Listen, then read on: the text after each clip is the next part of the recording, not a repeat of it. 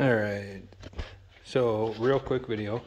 This is kind of a stupid video because it's already like primed.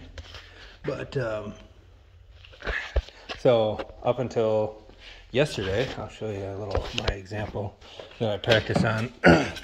I have never painted chrome like and made it look decent. And I'm not saying that this looks decent. So I uh, I primed this. This was just an old exhaust shield. I primed it and they had painted it black, right? So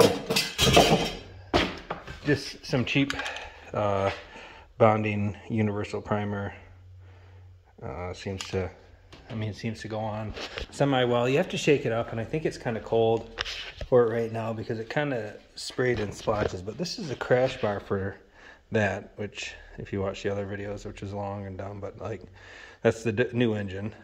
It runs, um, and that goes on there. So if this turns out successfully, then I'm gonna kind of like bits and pieces do like those and that. None of that probably. I, I want to do the the the forks this winter. And I'm gonna do the headlight buckets and whatnot, and I'm gonna do some fun stuff up front, which hopefully I'll video me doing. Um, we'll see. I'm gonna. I think I'm gonna zip this bar off here just because it looks kind of old manish. And then I'm to change these out to something a little bit, the spotlights a little bit, something more modern. And then the same as the turn signals. But yeah, I'm to sling some black on here.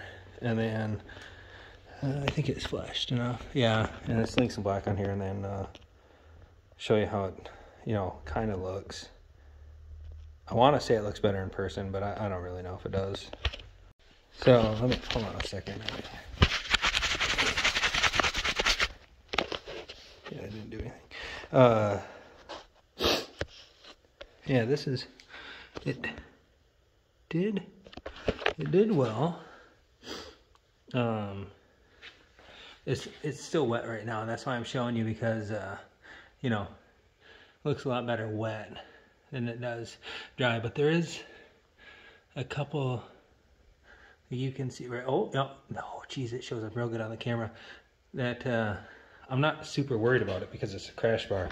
But what I'm worried about is if I decide to do these, I don't want, I can't have runs in there. And I really want to do this.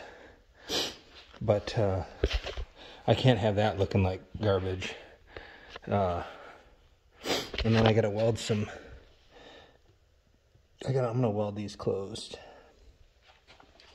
Uh, and I think I might um, do this. But we'll see, because I, I don't like that air cleaner, but I want a different one. But I'm too cheap to, like, you know, buy one. So we'll kind of see. Yeah. And then all this gaudy stuff that they put on here. All that chrome giblets and whatnot. And I'm buying black handlebars that are some kind of cool looking T-bars. Hopefully I'll do a video on how to put those on. Because you have to, like, cut this part out, but it retains this, which I'm happy with. We'll see how I like it. I'll probably hate it, but we'll see. Yeah, I'll. Uh, I'm gonna give that uh, bar about probably 10 or 15 minutes. Spray another coat on it so I get a lot of runs on there, and then uh, call it a night.